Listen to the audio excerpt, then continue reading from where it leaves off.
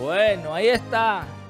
Muy bien. Tenemos a Arismendi la Antigua, Ah, que está ok, con el doctor adelante. Bonilla, presidente del Colegio Médico aquí en la seccional Duarte. Adelante, Arismendi, ¿qué tenemos? Buenos días. Buenos días. Sí, gracias. Asimismo es. En esta ocasión me encuentro acompañado del doctor Marcos Bonilla, quien es el presidente del Colegio Médico de la Seccional Duarte. Doctor, una información a nivel nacional que eh, establece que aquellos médicos que se nieguen a ofrecer servicios a ciertas ARS, los médicos pueden ser demandados. En el caso de ustedes han hecho ya dos eh, paros, ¿verdad? Eh, ¿Cuál es la reacción de ustedes y cuál es la opinión si podrían ser demandados o no? Bien.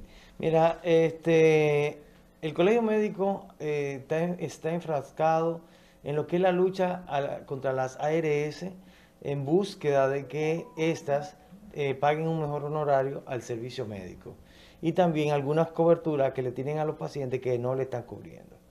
Con respecto a los médicos que en algún momento no tomemos los, los pacientes asegurados, primeramente no le estamos negando el servicio a atender su salud, solamente el no recibir el, el- el seguro.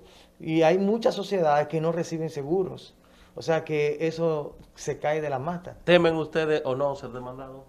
Es que en caso de ser demandado, eh, la, la- la lucha la tendríamos ganada, porque esto no, esto no, no atenta contra nada, porque uno sigue atendiendo al paciente, es simplemente no recibirle su seguro.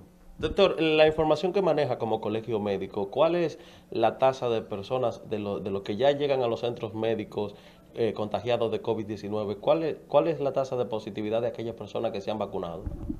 Eh, bueno, eh, aquí en nuestra región hemos notado que un gran alto porcentaje, 70, 80, 90%, de aquellos pacientes que han ameritado UCI o no están vacunados o solamente tienen una de la vacuna administrada.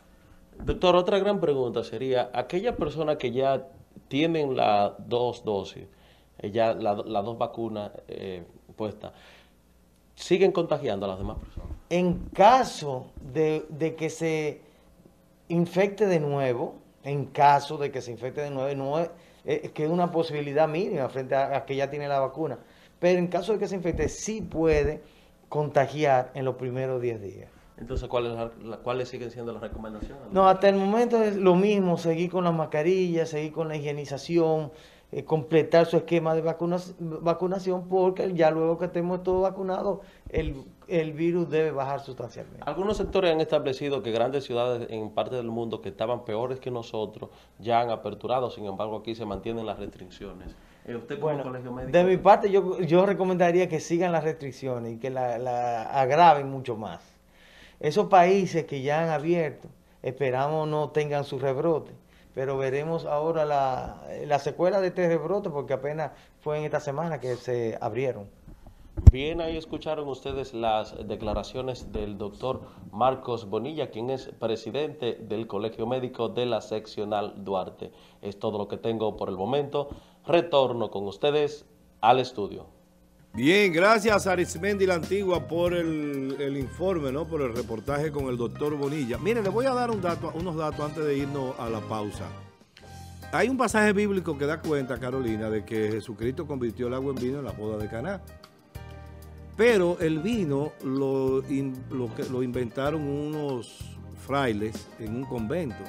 La champaña, en un pueblo cerca de, de- de París, que se llama Champagne, fue un vino que se le pasó a unos frailes en un convento también.